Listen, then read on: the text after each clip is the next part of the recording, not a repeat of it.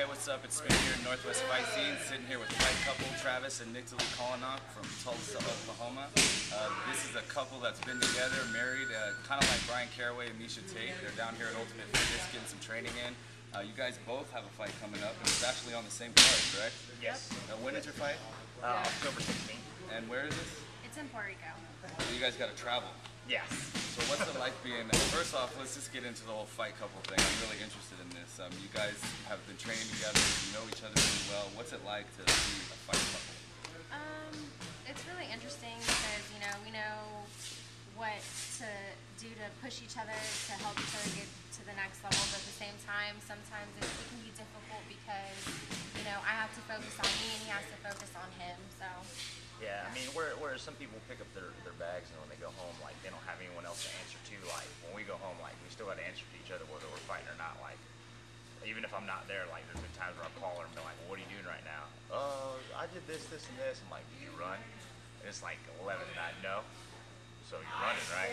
So it's like, it's, there's always someone to answer to with us, which is, it's good and bad. Sometimes it kind of sucks, but then it, it makes you better in the end. Sometimes you're on the couch. Is Yeah. what you're saying. Yeah, pretty much. So let's talk about your fight team. You guys are from Oklahoma. Um, Yeah. Talk about your training, your fight team, and uh, what brought you out here to California.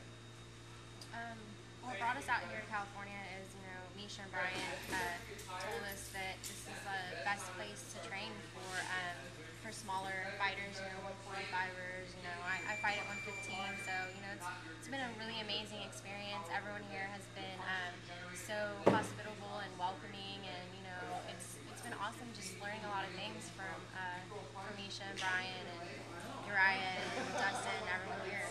And now you uh, told me a little earlier you know Miesha from the past. You guys have been Yeah. on cards together before. Uh, yeah, we first uh, met uh, when we did the Bodog Hook and Shoot tournament, and she was on the 135 bracket, and I was on the 125 bracket. We didn't start becoming really good friends till uh, Fatal Femmes. Now, what's it like for you here? I mean, obviously there's so many good guys around here. What, What's it been like being down here at Ultimate Fitness? Man, it's been it's also honestly been great uh, over there in, in Oklahoma. Where we're from, like most of our high level guys are, are heavier, like 185s and up. So to have smaller high level like fast speed guys, like we don't have like they're hard to come by. Like you gotta kind of like schedule times. But like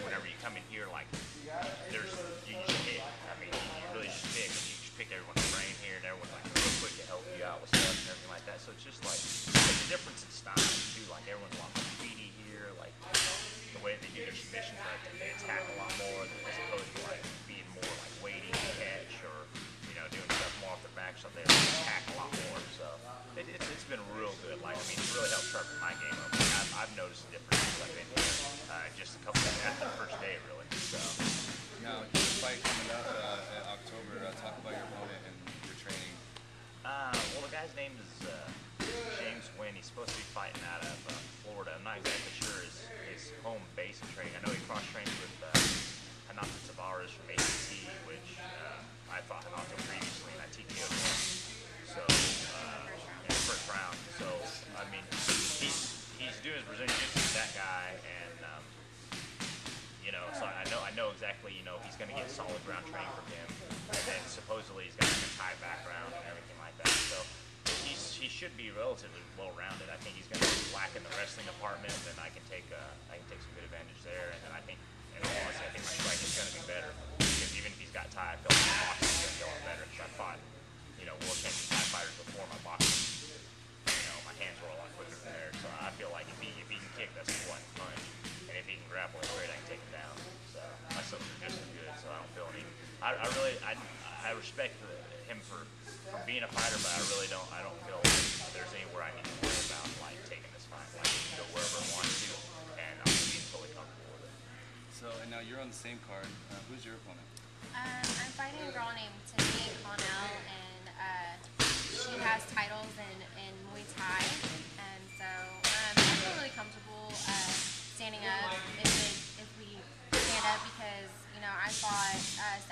Crondyke and I stood with her just fine, and I think Sally's better stand up than the girl and Stronger. Stronger, stronger too, because I fought ugly, you know. So. I appreciate interview, guys. Taking the time to be out here really doing all this. Um, anybody you guys would like to thank? Any sponsors or people? Um, I'd like to thank Miesha and Brian uh, Miesha Tate and Brian Caraway for inviting us to come out here, and uh, Cage Steel. Yeah, I'd like to definitely thank uh, Wausau Auto Care back home um, for taking care of like getting us ready for everything like that. All the people at LA Boxing for their support, uh, Extreme, and uh, the whole team for, for being there and taking care of things while we're away. All right, well, hey, thank you for the interview. Uh, Travis, Nicdali, Spaniard, Northwest Fight Scene, thank you. Thank you.